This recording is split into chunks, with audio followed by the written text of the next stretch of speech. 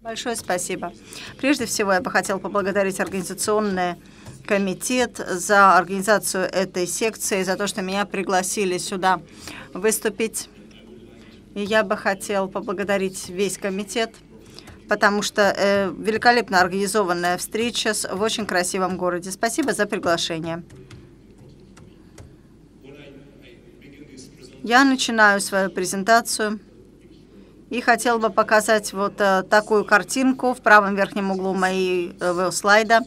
Это иероглиф, египетский иероглиф, э, который я сам сфотографировал в храме Птолемея. И фактически это иероглиф – это слово, которое означает роды, э, delivery или роды.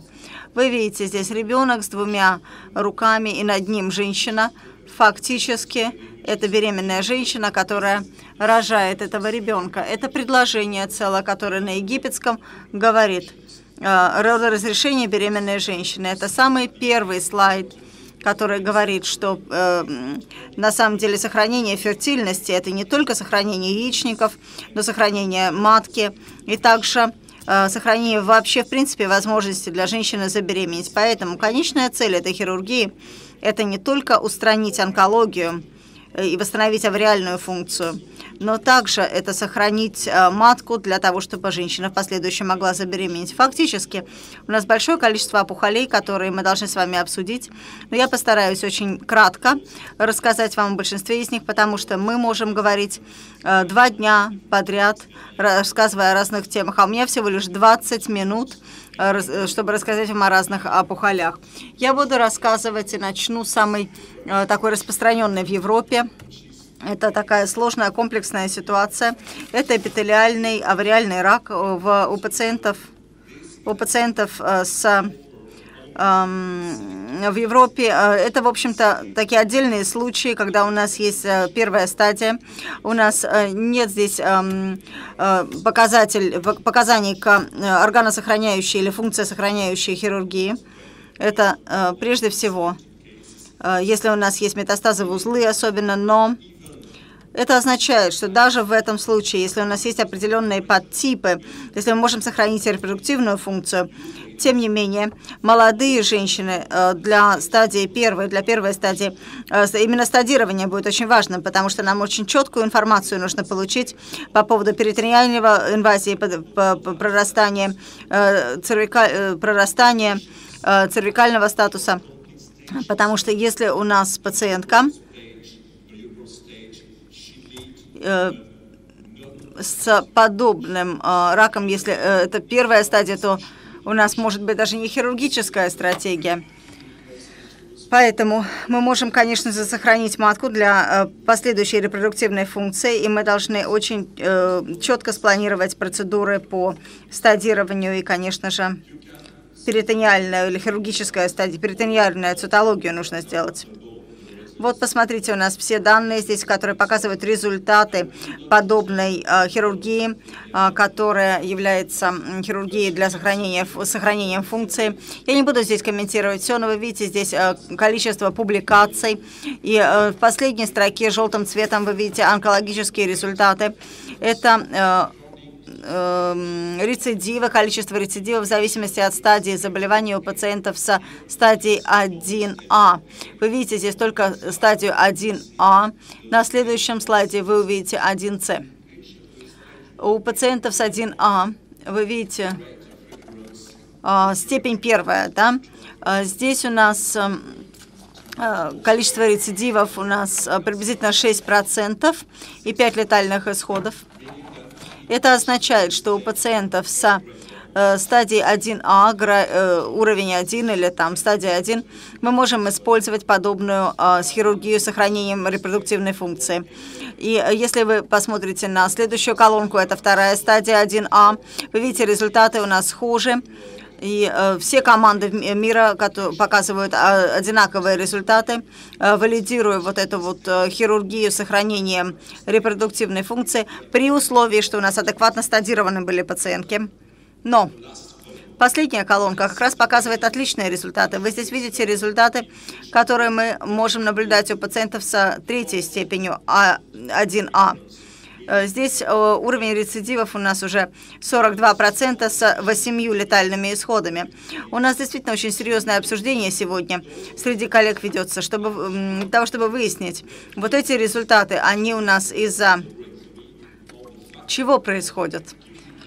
Э, это из-за того, что сохраняются яичники и или нет.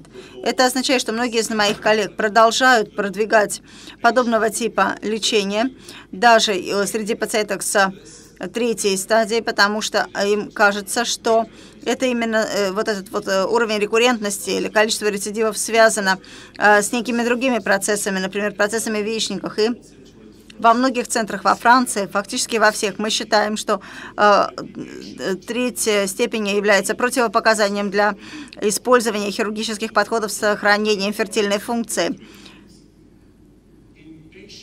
У пациентов со стадии 1С мы прекрасно знаем, что в новой системе стадирования стадия 1С э, сегодня изменилась, и мы знаем три разных классов э, стадии 1С.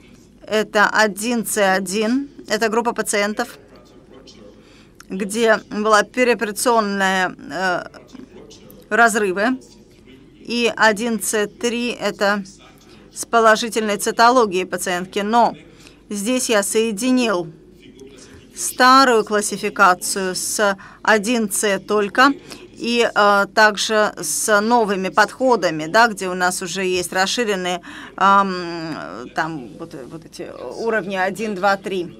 Вы видите, что здесь э, у нас рецидивы приблизительно 9%. Очень похоже, э, схожая ситуация с тем, что мы видим в радикальной хирургии, это означает, что если у нас стадия 1С1, то мы можем четко сказать, что мы можем использовать э, хирургические подходы с сохранением фертильной функции в этой группе пациентов, но не в случае, опять-таки, с 1С3. Это означает, что во Франции мы э, убеждены, что если у пациентки 1С1 или 2, то э, нет противопоказаний для сохранения функции матки яичников в этой группе пациентов, но не в 1С3. Что мы можем предложить в качестве других опций, других возможностей для пациентов, у которых 1С3? Есть хорошая статья, которая была опубликована 6 или 7 лет назад. Это э, дата-база, э, извините, база данных СИР, э, североамериканская база данных, э, разные здесь штаты Соединенных Штатов. Э, и вот в этой базе данных большое количество пациентов, приблизительно 20% пациентов Соединенных Штатов все включены в эту базу данных. И здесь достаточно большая база данных. Э, вы не, не видите по этой базе данных, что у нас здесь есть какая-то разница по выживаемости пациентов, а, независимо от э, сохранения или устранения яичников. Это означает, что если есть противопоказания для сохранения яичников с, с 1С3 или 1А3, мы можем, например, сохранить один яичник и матку в отдельных случаях.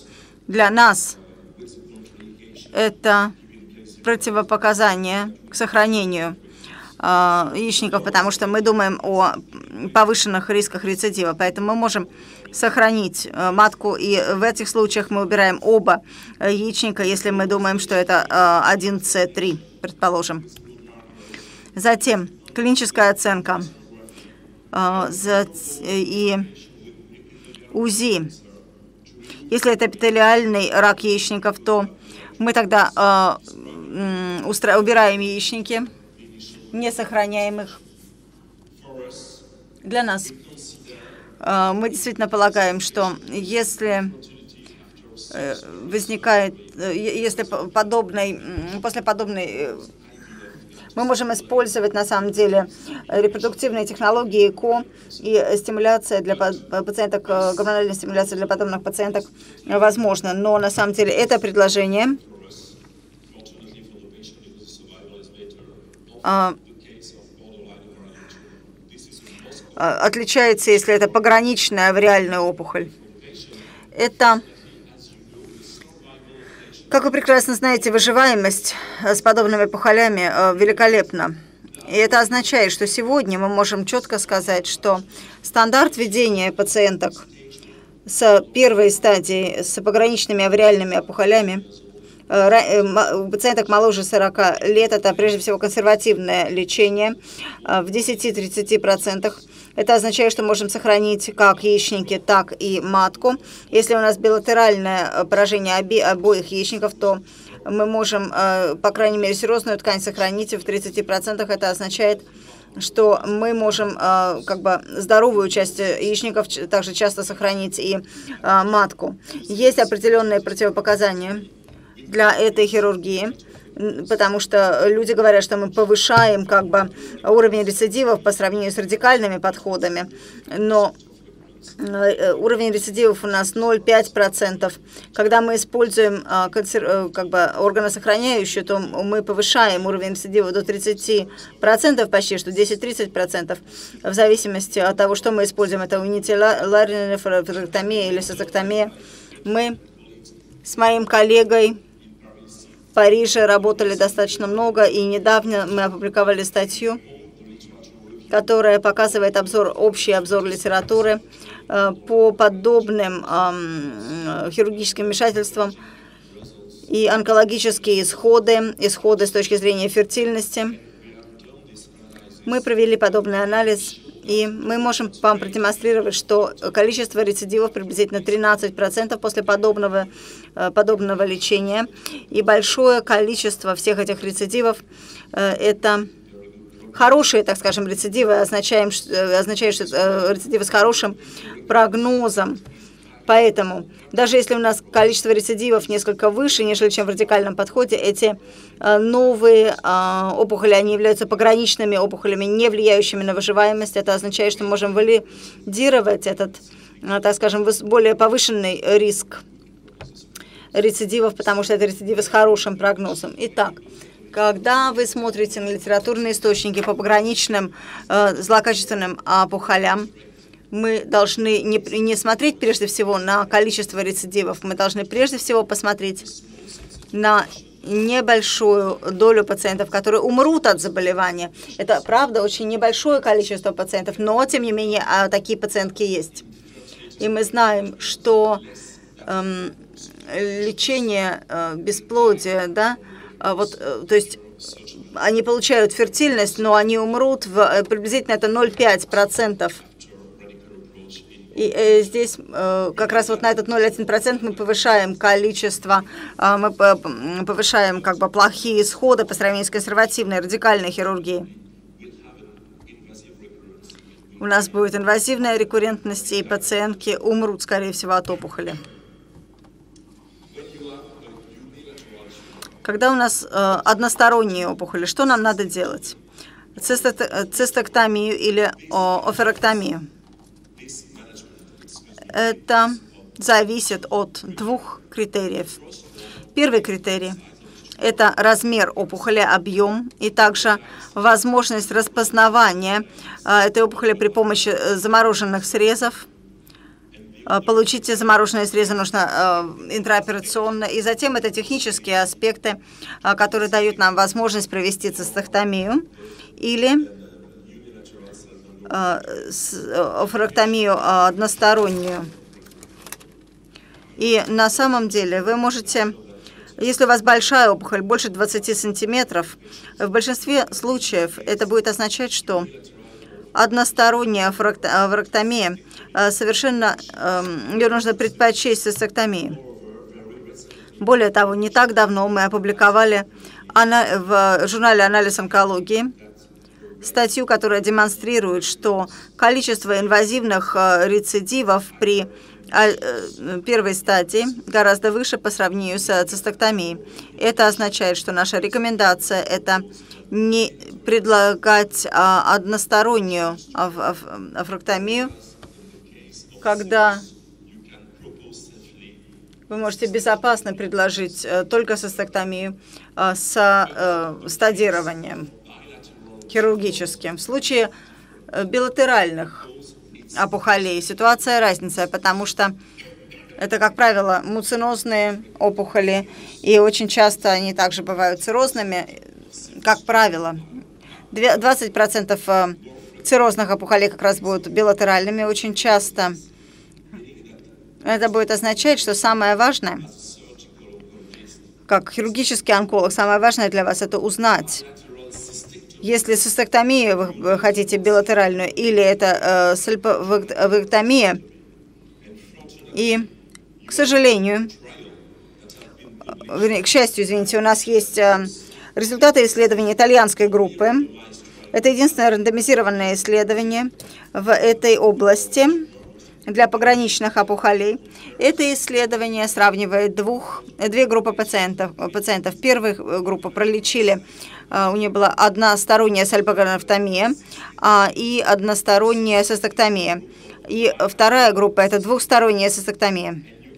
И вы видите э, в средней колонке, здесь в экспериментальной группе с экспериментальным подходом хирургическим, а, вы видите данные и сравнивать можете с контрольной группой. Там, где у нас была билатеральная цистектомия, количество рецидивов не отличается от группы экспериментальной хирургии.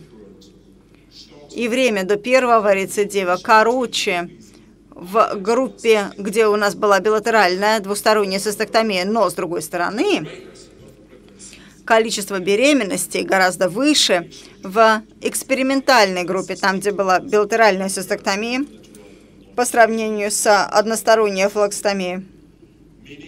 Это означает, что подгруппе пациентов с эрозными э, опухолями, если вы можете сохранить э, здоровую часть обоих яичников, вы должны предпочесть именно эту технику по сравнению с устроением, полным устранением э, одного яичника и сохранением второго, потому что с точки зрения улучшения спонтанных беременностей у нас есть четкая разница, которую мы можем наблюдать между двумя этими группами. Второй шаг, следующий шаг, это сфокусироваться на э, фертильности, на результатах фертильности у пациенток с пограничными опухолями. Давайте посмотрим на этот слайд. Вы видите, что спонтанные беременности, количество спонтанных беременностей для э, всех э, серий публикаций приблизительно составляет 55% с тенденцией. Э, это 20% э, серозных э, и 30% у, в муцинозных опухолях. То есть это достаточно логическая разница, потому что в случае серозных опухолей у нас гораздо выше билатеральное вовлечение, в то время как в случае муцинозных опухолей большинство пациенток, у нее односторонние опухоли и нет экстравариального прорастания, так скажем, в большинстве случаев. И это означает, что в литературных источниках, если вы посмотрите на гистологические подтипы этого заболевания, то вы увидите более высокий уровень спонтанных беременностей у пациентов с муцинозными опухолями по сравнению с муцинозными. Что это для нас обозначает? Это означает, что если вы посмотрите на страны, которые опубликовали свои результаты, у вас будет более высокий уровень спонтанных беременностей у а, там, где у нас выше муцинозные по сравнению с французских, например, северноамериканские, где у нас более высокие серьезными опухолями по сравнению с муцинозными в азиатской популяции, которые менее, так скажем, часто возникают в Северной Америке и в Европе по сравнению с Азией.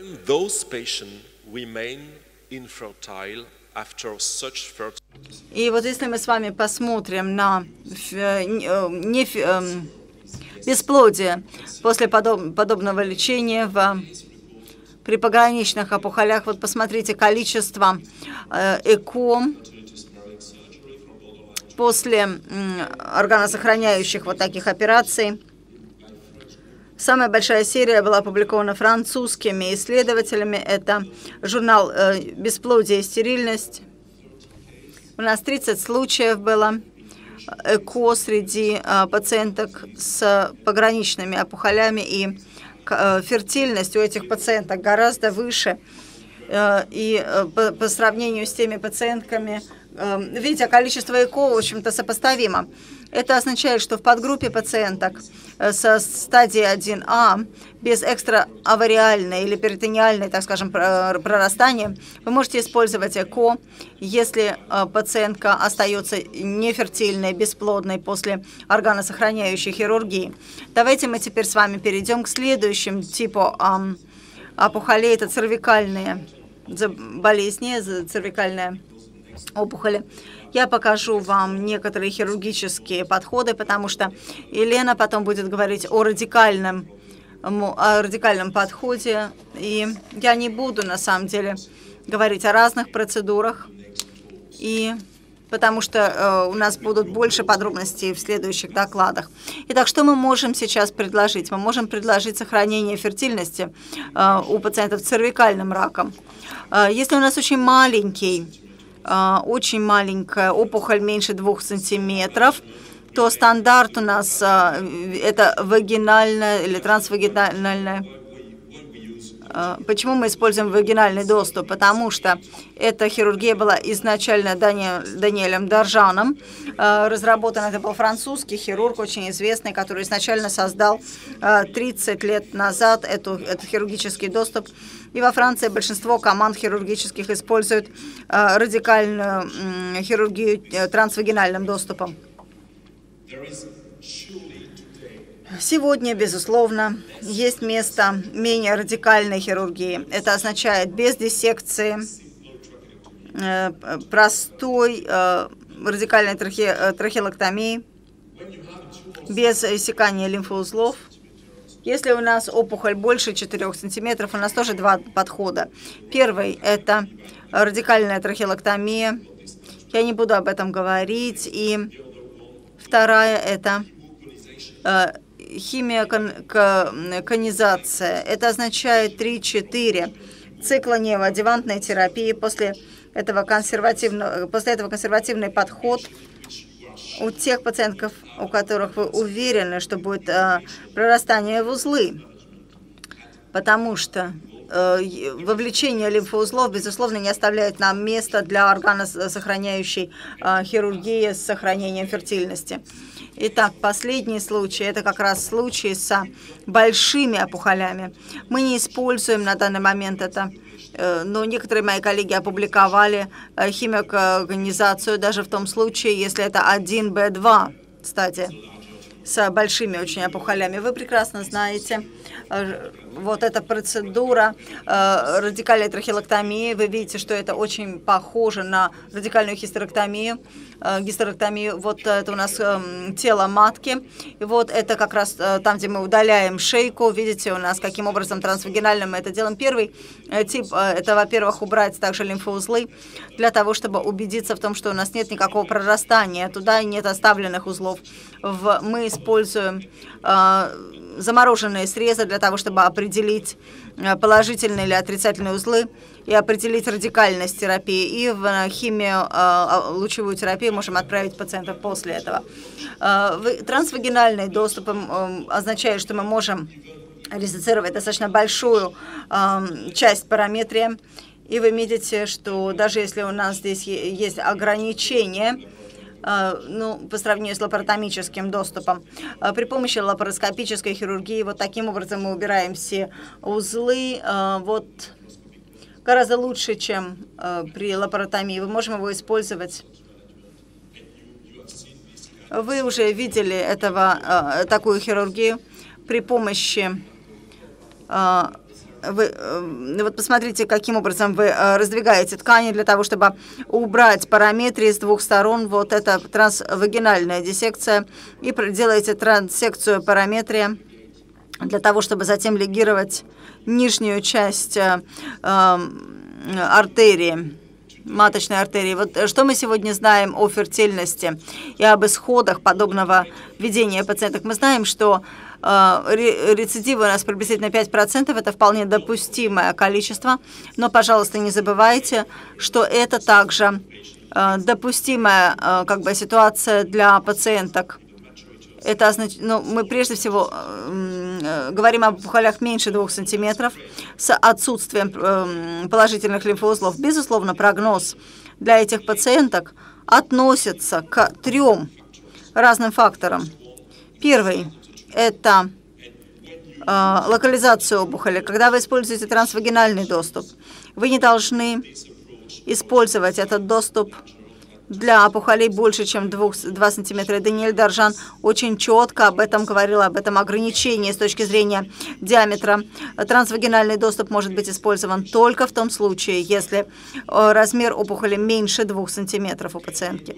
И, безусловно, если у нас есть... Эм, э, если у нас э, разрастание э, лимфоваскулярное, то тогда Э, это еще одно ограничение.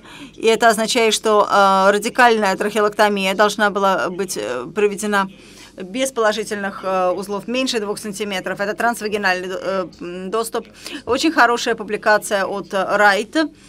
Около 8 лет назад она была сделана, которая показывает, что для пациентов с отсутствием положительных лимфоузлов с размером опухоли меньше 2 сантиметров нет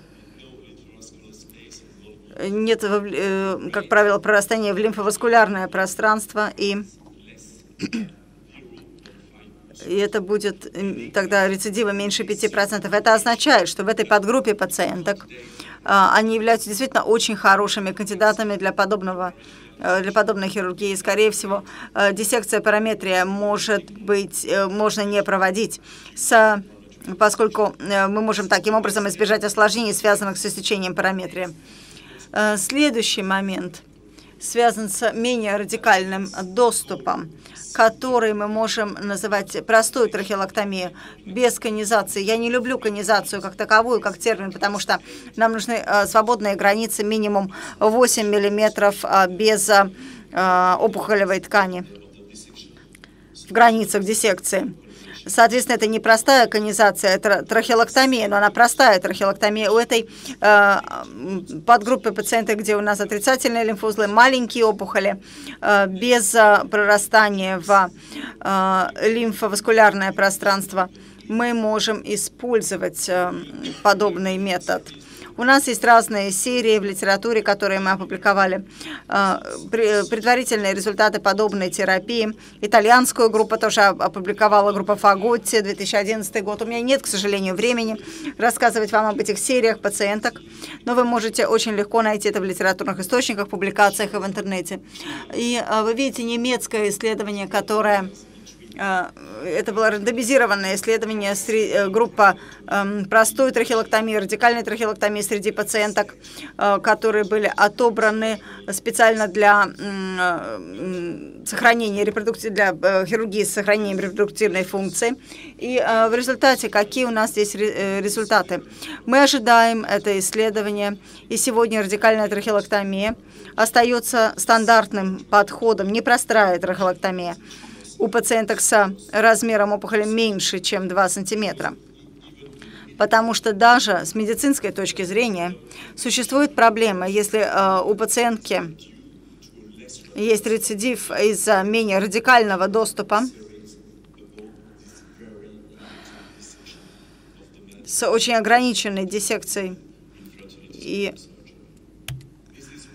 вот именно поэтому когда у нас большая опухоль или опухоль большего размера, у нас нет возможности э, для такого простого небольшого доступа. Абдоминальная радикальная трахеолоктомия должна быть проведена или неодевантная э, химиотерапия, конизация для пациенток с отрицательными даже узлами, но большим объемом опухоли. Вот разные серии пациентов, которые были опубликованы с использованием э, первоначальной конизации или химиотерапии для с последующей радикальной трахеолоктомии или простой конизацией. Некоторые пациентки с очень маленькими опухолями, меньше 2 сантиметров, или были также пациентки э, в группе между двумя и четырьмя сантиметрами, и большинство из них, тем не менее, были также пациенты с первой стадии 1Б. Э, Это означает, что размер опухоли был больше 2 сантиметров. Что мы здесь можем сказать? Мы можем сказать, что у нас ниже уровень рекуррентности, но тем не менее, у нас нет четких данных, которые позволяют нам сказать, что подобное лечение с точки зрения онкологических исходов лучше.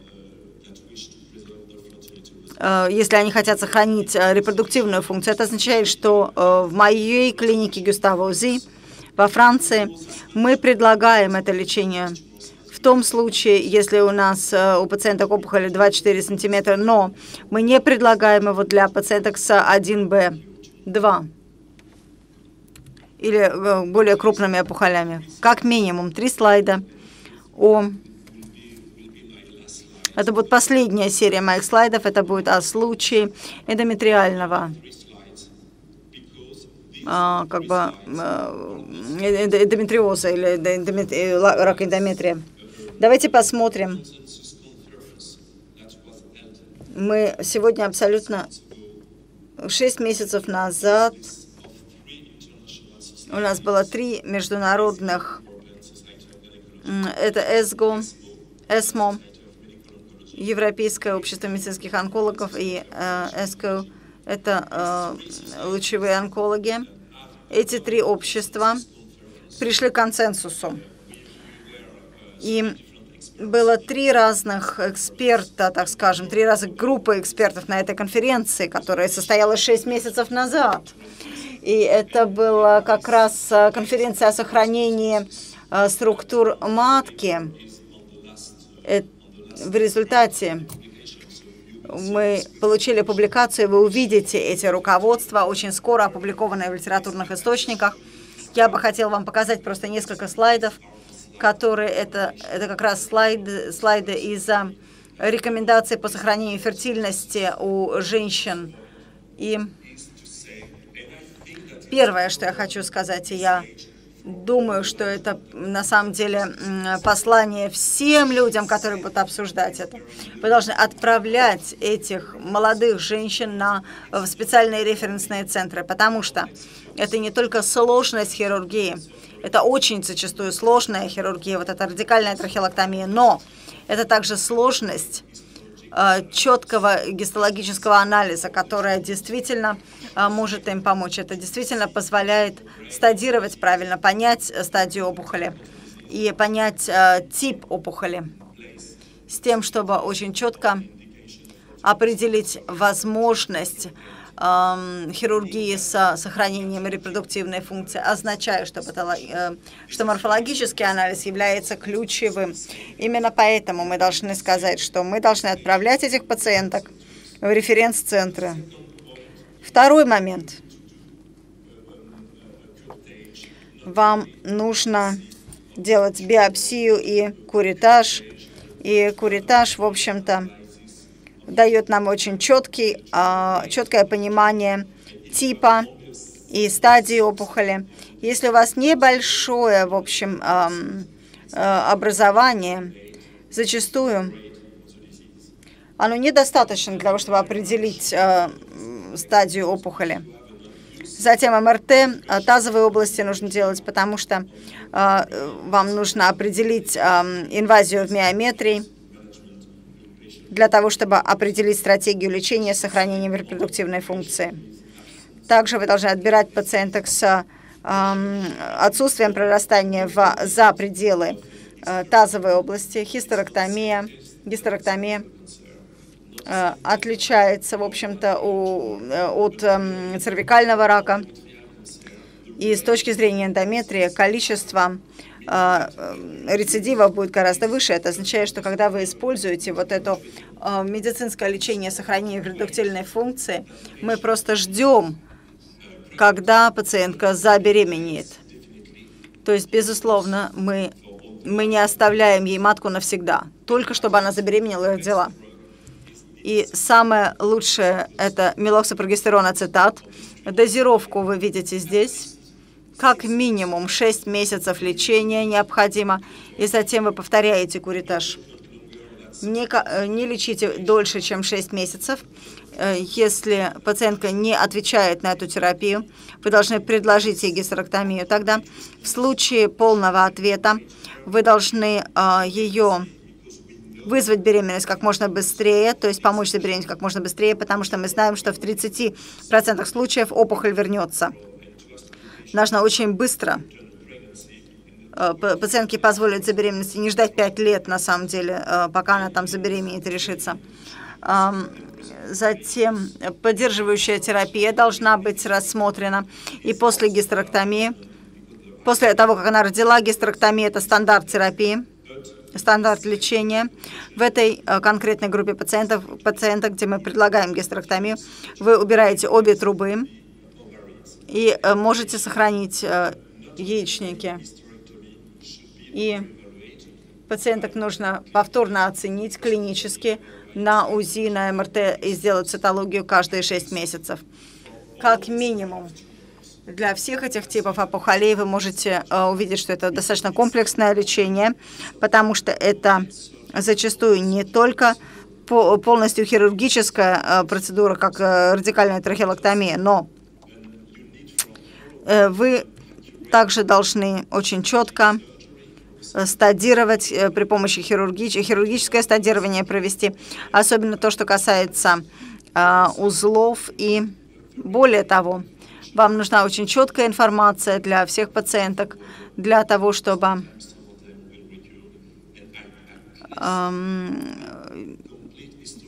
избежать э, гистологическая оценка нужна первоначальной опухоли. Нам нужно четко э, отобрать хороших кандидатов от плохих кандидатов для подобной, подобного лечения. Спасибо за внимание.